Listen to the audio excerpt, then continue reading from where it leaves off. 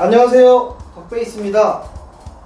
어, 오늘은 덕베이스를 시작하게 된 여러가지 이유에 대해서 설명을 드리려고 해요. 어, 덕베이스는 2012년도 2012년도 12월에 사업자를 내고 예 그렇게 정식으로 시작을 했습니다. 어, 사업자를 내기 전에 저는 악기를 워낙 좋아했기 때문에 예, 여러 가지 악기들을 많이 사용해 봤어요. 그 뮬에서 엄청 사고 팔고 하고 네 여러 가지 그런 악기에 대한 호기심을 그 갖고 있었기 때문에 다양한 악기들을 써보고 싶었습니다. 예, 그래서 뭐 켄스미스, 포데라, 뭐 섀도우스키, 마이크로, Lakland, 뭐 Spector 정말 많이 썼던 것 같아요. 그것도 다 같은 모델은 안 쓰고 예, 그 전부 다, 다 샀었습니다. 사다 팔았지만 그렇게 시작을 했던 것 같아요. 그래서 악기 소리에 대해서 궁금증이 많아서 아 이거를 정식 사업자를 내고 시작을 해보자 라고 해서 시작을 했습니다. 어, 오늘은 알레바 코폴로 덕베이스 하면 이제 알레바 코폴로에 대해서 아시는 분들이 많을 거예요. 알레바 코폴로를 제가 처음으로 방문했던 악기 샵입니다. 어, 미국에 직접 2013년도 5월에 가서 방문을 했었는데 알레바 코폴로도 좋아했기 때문에 알레바 코폴로를 네, 그 연락해서 네, 방문을 하기로 했어요. 근데 지미가 이메일이 잘 안 되는 거는 연락을 해보시는 분들은 아실 거예요. 근데 그때 상황적으로 저랑 잘 맞아서 2013년 5월에 약속을 잡고 네, 그리고 방문을 했습니다. 미국에 처음에 딱 내렸는데 어, 뭐 제가 본 영화에서 나오는 미국은 굉장히 햇살이 좋고 특히 LA는 영화 같은 데 많이 나오잖아요. 굉장히 그 뭐랄까 이게 뷰가 좋으면서 그 막 잔디가 있고 어? 거기 개들이 막 뛰어다니면서 신문을 날리고 잔디에서 막 물이 막 나오면서 막 어? 굉장히 자유롭게 지내는 그런 곳을 상상하고 딱 내렸는데 뭐 쓰레기가 일단 너무 많고요 고속도로에. 일단 너무 힘들었어요. 그리고 뭐, 뭐 여러 가지 제가 생각했던 거랑은 좀 많이 달랐던 것 같아요. 그래서 좋은 동네만 이제 영화에서 봤다라는 생각이 들었고 예 다시 본론으로 와서 네 지미 코폴로랑 약속을 하고 그 지미 코폴로 공방은 이제 어, 캘리포니아 옥랜드라는 데 이제 위치하고 있는데 LA에서 한 1시간 한 20분 정도 갔던 것 같아요. 그래서 거기를 이제 렌트를 해서 차를 타고 가고 있는데 가다 보니까 오그 옥랜드라는 데는 어, 일단 동양인이 거의 없고요.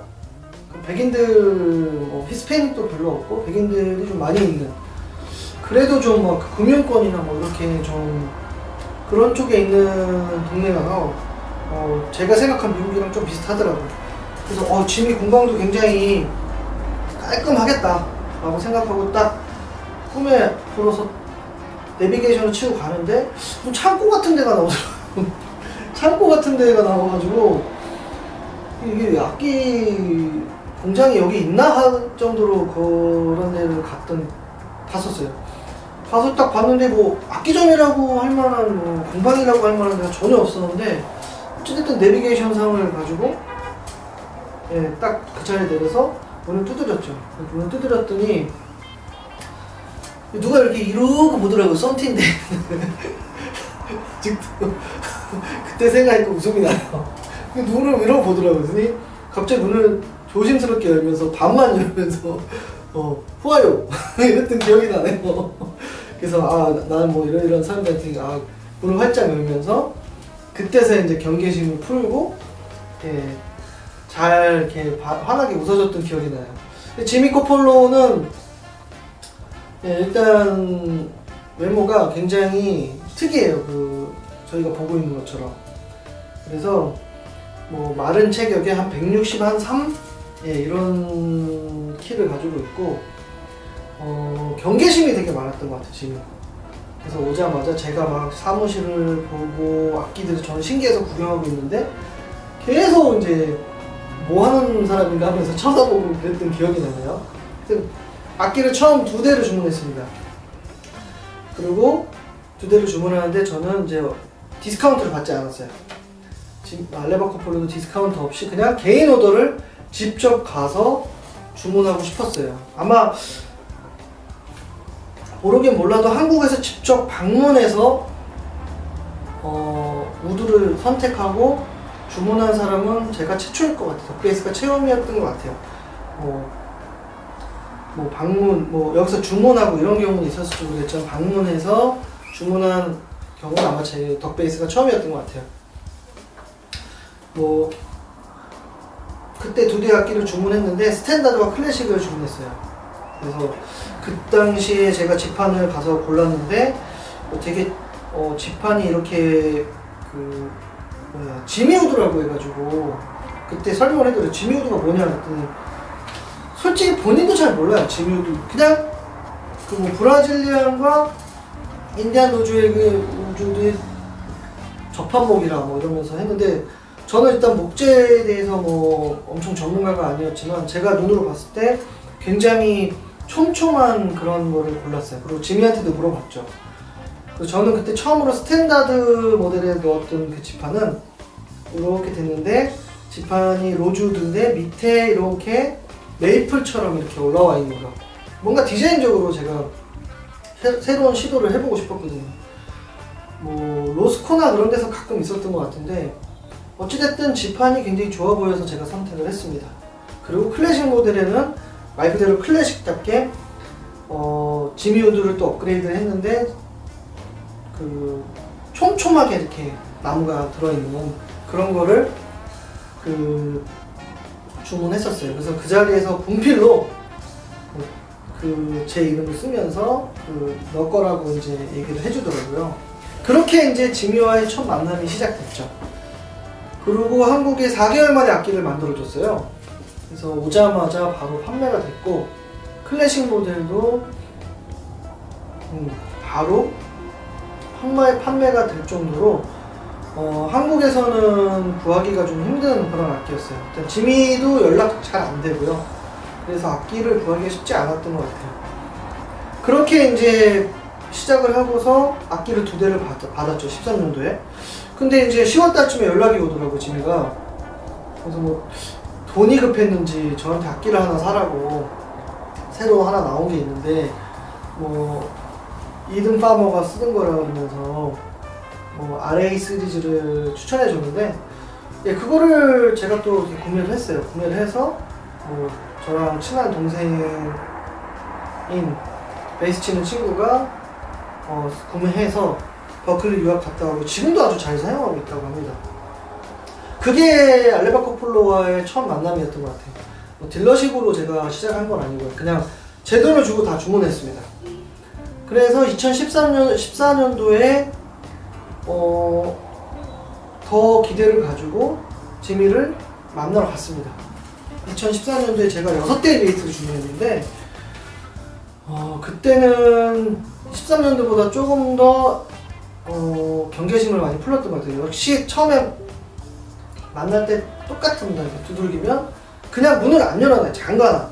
두들기면 이렇게 쳐다보고 열어주는 그런 시스템은 항상 뭐 매년 똑같았던 것 같아요. 그래서 2014년도에 6대의 베이스를 주문하면서 예, 최고 사양으로 limited edition 2대 그 다음에 어, 일단 저는 무조건 풀옵션을 다 넣었어요.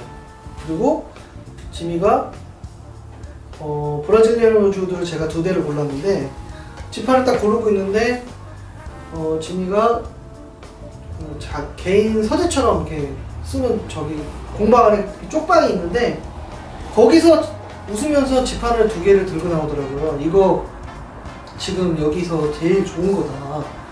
이거를 너한테 줄게. 그러면서 굉장히 자랑스럽게 얘기를 하더라고요. 그래서 아, 이 친구는 뭐 좋은 거는 자기가 다 흔히 말해서 짱방만 먹나? 뭐 이런 생각이 진짜 뭐 되게 재밌었어요. 그게 어찌됐든 좋은 거라 그러니까 그거를 이제 어, 처음에 갔을 때는 그런 얘기를 안 하다가 두 번째 가니까 또 그런 것까지 알려주고 좋은 나무로 자기가 선택을 해주겠다라고 해서 저는 이제 기쁜 마음으로 받았고 그때도 현금으로 제가 디파짓을 했는데 그때 한 6천 불 정도 제가 7천 불 했네요. 7천 불을 했는데 음 그때 지미가 굉장히 고마워했었던 기억이 나요.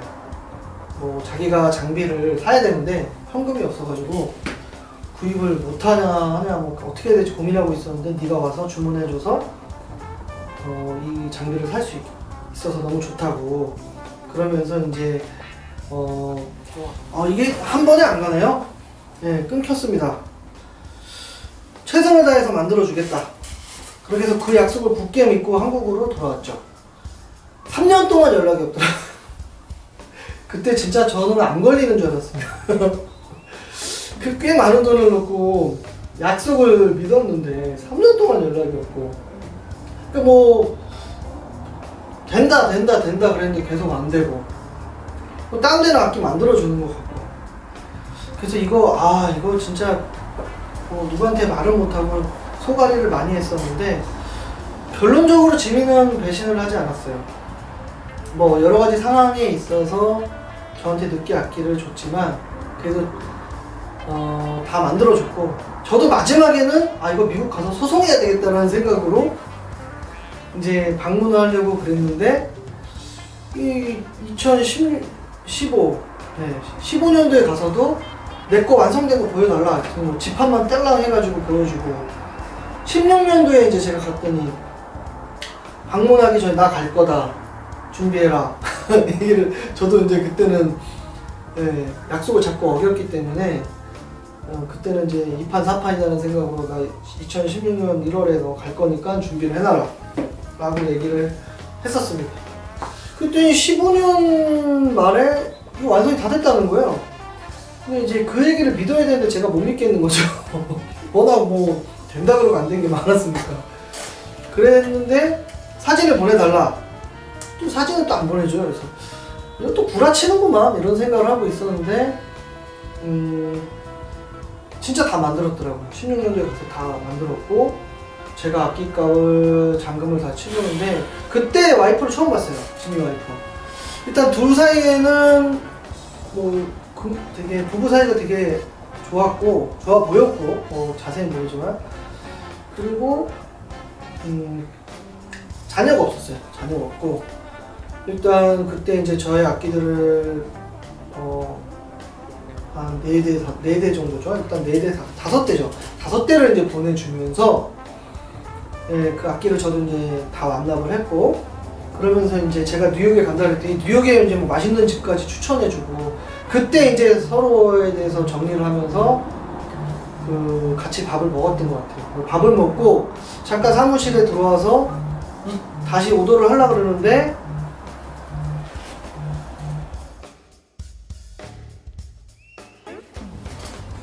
핸드폰 진동이 와가지고. 하여간 지미 와이프가 저 생일 축하하는 그거를 깜짝 이벤트를 해줬던 기억이 나네요. 그래서 아 그때 지미랑 더 인간적으로 더 친해졌던 것 같고 뭐 어찌됐든 모델이나 주문을 할 때 저에게 최선을 다해서 만들어줬던 것 같아요. 물론 저도 한 번도 지미한테 푸시를 한 적은 없어요. 소가리를 많이 했지만 한 번도 푸시를 하지 않았기 때문에 지미도 저를 편안하게 생각했고 그리고 또 저는 뭐 그런 개인으로 다 주문을 다 했었기 때문에 예, 뭐 지미한테는 좋은 고객이겠죠 제가. 그리고 이제 16년도에 또 마지막으로 이제 두 대 베이스를 이제 두 대 베이스를 더 주문했는데 어 그때는 더 주문하기가 편했어요. 디파짓을 일단 안 받았어요. 지미가 디파짓을 안 받고 그리고 악기가 완성되면 너한테 알려주겠다 라고 얘기를 했고 어, 완성 기간도 정확하게 지켜줬고요. 그리고 아, 나는 이런 식 이게 새롭게 이렇게 뭐 ash body에 rosewood를 하고 싶다 엠파스 body를 자기가 개발했다면서 되게 가벼운 나무가 있었거든요. 그러니까 엠파스 body에 rosewood 계열로 하고 싶다라고 얘기했는데 음, 지미가 이제 말리더라고요. 그건 한 번도 해본 적이 없으니까 소리에 대한 자신감이 없으니까 일단 내가 다른 사람 주문하면 한번 해볼게 그리고 좋으면 너한테 추천해주겠다 마루타 될, 마루타가 될 만한 사람이 있었던 것 같아요. 그렇게 얘기를 했고 또뭐 지미가 지미우드와 CNL 뭐 지금은 어떤 식으로 그 지판을 어, 뭐 명칭을 했는지 모르겠는데 CNL 지판이라는 게 있었는데 그거는 이제 뭐 CNL 뭐 그거는 자기 개의 이름 개가 이제 사랑하는 이제 반려견이 죽어서 그 개 이름의 앞자를 따서 CNL 시저 미로 레전드 개의 전설인가? 하여간 그 얘기를 한, 한참 듣고 났던 기억이 나네요. 또 짐이랑 또 여러 가지 번외로 얘기를 하자면 이 알레바 코폴로 로고 이게 생각보다 저는 이쁜 것 같아서 지금 섀도우 스킨인데 알레바 코폴로 로고도 어떻게 디자인했냐 그랬더니 굉장히 자랑스럽게 웃으면서 그 뉴욕 공방에 있을 때 거기 이제 디자인하는 애한테 30불인가요?